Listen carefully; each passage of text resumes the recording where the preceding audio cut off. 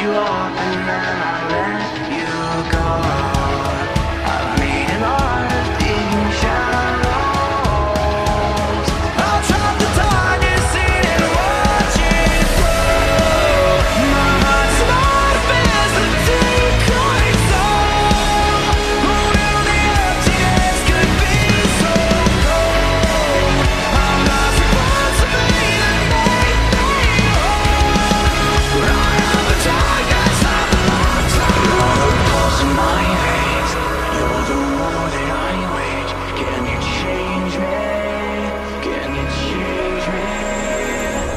the Lord.